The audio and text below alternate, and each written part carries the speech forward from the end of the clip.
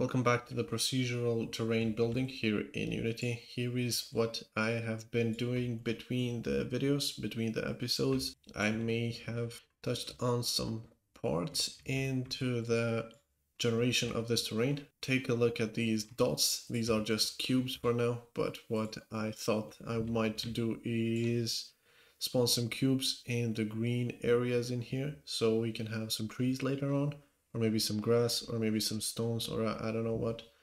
And I made them with a spawn chance. So the spawn chance can be as low as zero so we don't have anything to 1% so it's very slim chance. Uh, we can test the spawn chance by just raising the height. See now we have a lot of trees in here. And these are all generated in real time. And then we can just you know decrease the spawn chance. And now if you pay attention to the actual cubes, as you can see, now we have a very little amount of cubes. Uh, I also made the terrain look a little different, a little smoother, sh should I say. You can play around with the values. Uh, the code will be all in a GitHub link repository, so you can just take that and play around. Sometimes you can get results like these, which is not particularly good to look at. Anyway, let's go ahead and build the code for the spawnable objects. So I already went ahead and done it and it's actually super simple. I will revert this and we'll write it again very, very quickly. So, okay, so we'll go ahead and delete the spawnable object. We'll also delete the declaration in here. And I think here is a loop, so we'll delete that as well. And here is where I left off. So I also made a elevation type, which is a enumerator. So let's delete those, I suppose. And we didn't have a type in here as well. Okay, so let's start. Actually, let's start by building the enums in here. So let's do a public let's declare also the spawnable objects.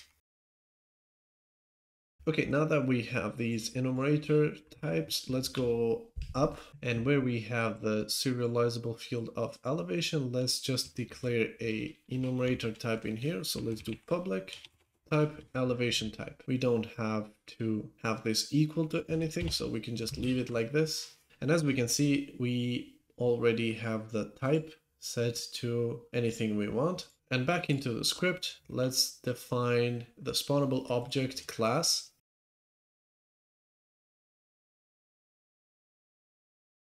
Okay, now that we have the spawnable object, let's define a list of these so we can spawn multiple, obviously multiple spawnable objects.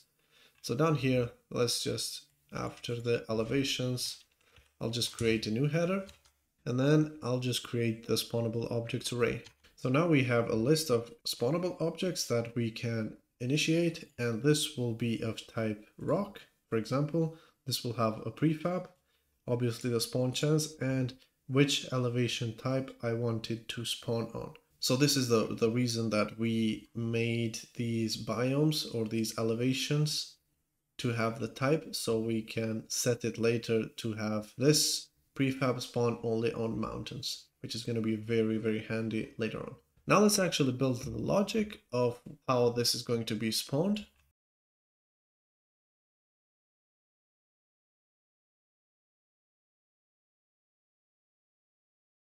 And there we have it. Here is the quick and dirty spawn logic. So all we have in here is a loop that iterates through what we want to spawn. And then we just ask if the current elevation type, so the current biome, so to say, is equal to the biome that we want the spawnable object to be spawned on.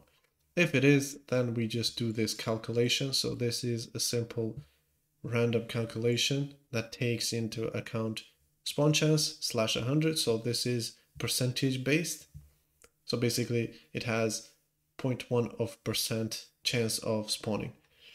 And then when we spawn, we just spawn the, the, the object. We already have the position. We don't care about the rotation for now. This is just simple 0, 0, 0 rotation. So it's, it's always in the same rotation. We're to mess with that later if we need so. And then for cleaning up, we just set it to the chunk parent. So we keep our scene a little cleaner. Okay, so here is our script again. We have element. We want this element to be of type, for example, let's say tree.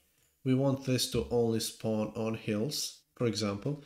And I don't have a tree. I'll get a tree later on in the next video. So for now, we'll just spawn a simple cube We'll make the chances really low for this to spawn.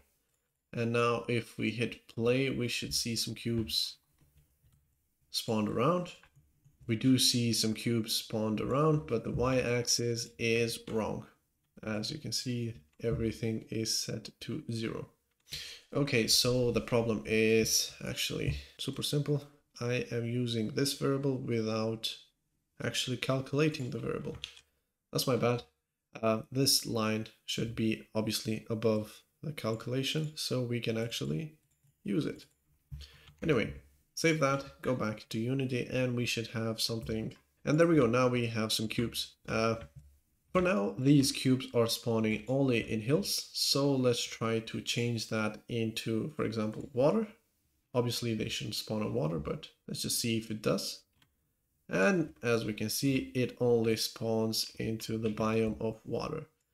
Uh, in the next video, we are going to take a look at how we can blend this so it looks a little better than this, because obviously this is not very, very, very caliente. I already have a blend amount, but it is acting up on me, as we can see. So in the next video, we are going to try and fix that. But other than that, thank you for watching and I will see you in the next videos.